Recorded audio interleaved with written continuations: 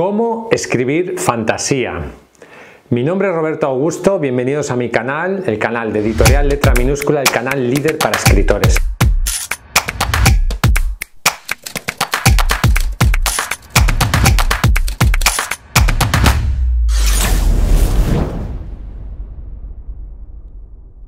En este vídeo te voy a dar las claves fundamentales para escribir fantasía de calidad.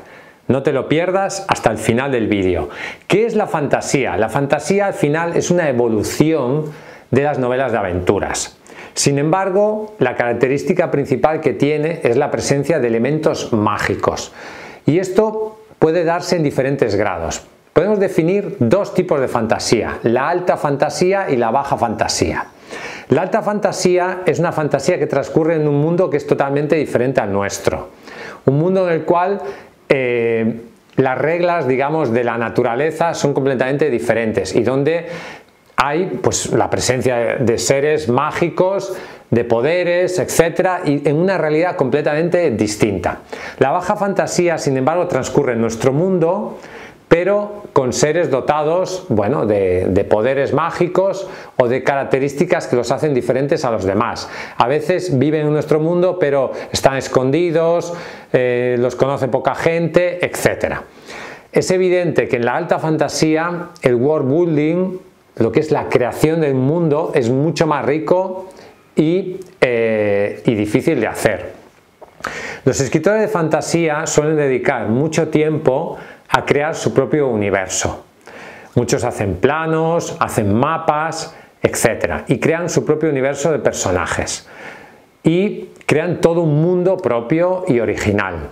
Esto necesita mucho tiempo, mucho trabajo y a veces puede ser un problema porque muchos escritores de fantasía están tan metidos en su universo que mm, descuidan la historia y le dan quizás más importancia a la creación del mundo, de su mundo de fantasía, que la propia historia. Por lo tanto, es cierto que si vas a escribir alta fantasía, deberías dedicar tiempo a caracterizar ese mundo, pero no tienes que olvidar que lo más importante al final es la historia y los personajes.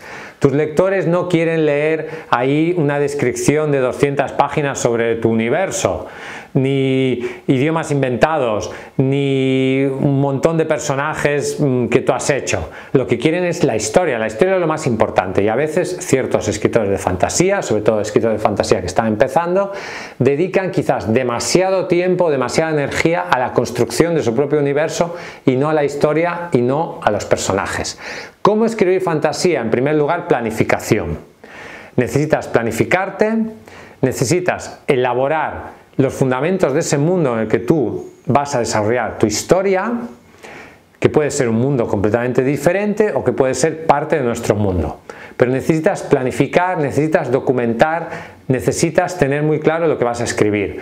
Si tú eres un escritor de brújula, que te gusta, mm, digamos, escribir sin planificar demasiado, ponerte a escribir una novela de fantasía sin tener claro cuáles son las reglas que rigen ese mundo puede ser un trabajo mm, sin sentido. Por lo tanto, necesitas un tiempo importante para planificar.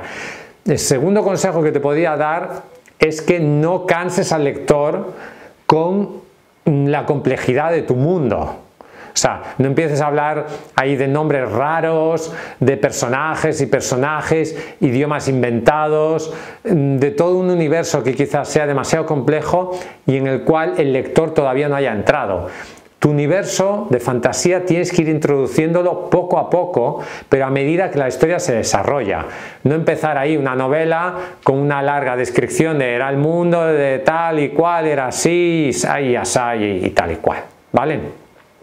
Luego, también muy importante la simplicidad. A veces no necesitamos mm, tantos personajes, no necesitamos tanta complejidad de universo necesitamos en realidad una historia básica que engancha al lector. Y ese universo que tú has creado fantástico tiene que estar al servicio de la historia. Luego es más importante también los personajes. A veces dedicamos mucho tiempo a planificar ese mundo de fantasía que a caracterizar los personajes. El motor de la historia son los personajes. Muchas novelas de fantasía, uno de los errores que comete es que los personajes son planos, son personajes muy estereotipados, no tienen suficiente profundidad, no evolucionan, no tienen emociones. Tienes que trabajar los personajes, porque los personajes son un elemento absolutamente clave de tu historia. Y luego, algo muy importante en lo que caen muchos escritores noveles de fantasía es en los estereotipos.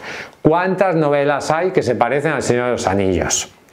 ¿Cuántas novelas hay con los mismos tipos de personajes, los mismos elfos, los mismos dragones, los mismos ogros, los mismos orcos, etcétera? ¿Cuántas hay? ¿Cuántas novelas hay imitaciones de Harry Potter?